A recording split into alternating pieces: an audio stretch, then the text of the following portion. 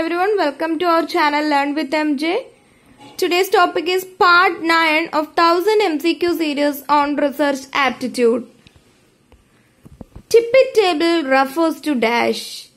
Option A table of random digits. Option B table used in sampling methods. Option C table used in statistical investigations. And option D all the above. Here the correct answer is option D that is all the above. It is a table of random digits and this table is used in sampling method and this table is also used in statistical investigations. The longitudinal approach of research deals with dash. Option A horizontal researchers, option B long term researchers, option C short term researchers, option D none of the above. The correct answer is option B that is long term researchers. Bibliography given in a research report. Option A helps those interested in further research and studying the problem from another angle. Option B shows the vast knowledge of the researcher. Option C makes the report authentic. And option D that is none of the above. The correct answer is option A that is bibliography given in a research report helps those interested in further research and studying the problem from another angle. Concepts represent various degree of dash. Option A formulation, option B calculation, option C abstraction and option D specification. Here the correct answer is option C that is abstraction. Concepts which cannot be given operational definitions are dash concepts.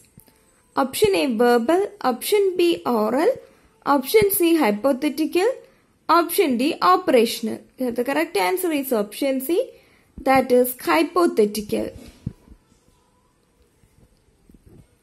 Concept is in reality a definition in shorthand or a class or group of facts defined by option A Kerlinger, option B P.V. Young, option C author, option D Kaplan. Here the correct answer is option B that is P.V. Young. Which of the following is not a data collection method?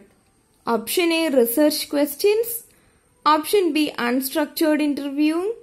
Option C postal survey questionnaire. Option D participant observation. Here the correct answer is option A that is research questions. It is not a data collection method. Who is regarded the father of scientific social surveys? Option A Best, option B Booth, option C Darwin, option D none of these. The correct answer is option B that is Booth is regarded as the father of scientific social service. A tentative proposition subject to test is option A variable, option B hypothesis, option C data, option D concept. Here the correct answer is option B that is hypothesis. It is a tentative statement. It is a tentative proposition subject to test. Analogies are sources of dash. Option A data, option B concept, option C research, option D hypothesis. The correct answer is option D that is hypothesis. Thanks for watching this video. Please subscribe our channel for more videos.